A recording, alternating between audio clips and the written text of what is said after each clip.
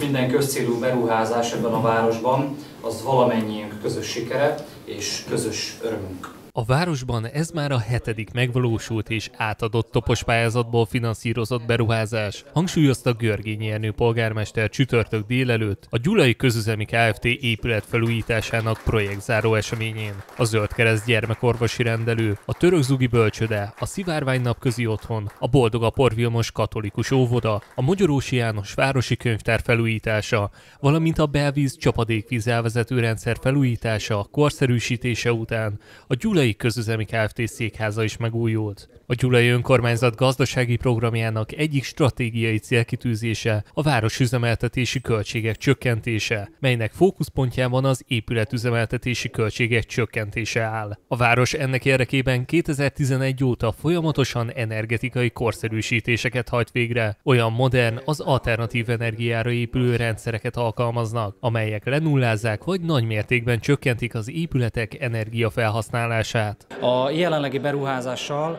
a Gyulai Közöldemi Nonprofit Kft. székházának éves energiaköltségét 3,5-4 millió forinttal tudjuk csökkenteni.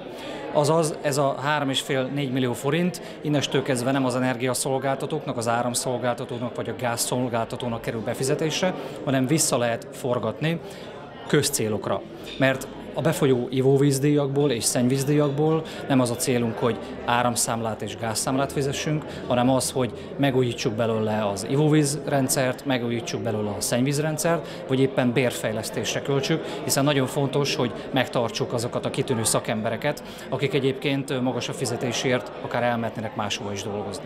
Az 1970-ben átadott épületben az elmúlt közel 50 évben nagyobb volumenű felújítás nem volt. A mostani az egész épületkomplexumot és a fűtésrendszert is érintette. A beruházás összköltsége 193 millió 700 ezer forint volt, melyből Európai Uniós forrás 160 millió forint, illetve önkormányzati támogatás 4 millió forint, a fennmaradó összeget pedig a közüzemi Kft. biztosította. A beruházás során teljes külső hőszigetelést kapott az épület, az összes közel 45 nyílászárót kicserélték. Megépítettek egy 50 kW-os napelemes kiserőművet, valamint az épületen belül egy teljes hőszivattyús hűtő-fűtő rendszert alakítottak ki. Van egy nagy, nagy átmérő vezeték, ez az, ami a lakossághoz viszi a vizet.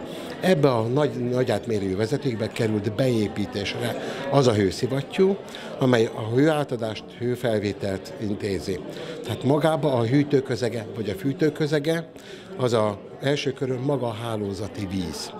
Az abból kinyert hő, hőmennyiséget táplálja be a rendszerbe, az épületbe, és itt egy belső vízkör hálózaton adja le a szobákban az épületben. És ugyanezt télen fordítva ugyanígy működik. A közüzemi Kft. a felújítás során gondolt a jövőre is, így optikai védőcsőrendszert alakította ki az épületek között, amely a jövő informatikáját, kommunikációját fogja szolgálni. Az esemény végén az épület aurájában avatták fel a felújítás megjelenítő emléktáblát.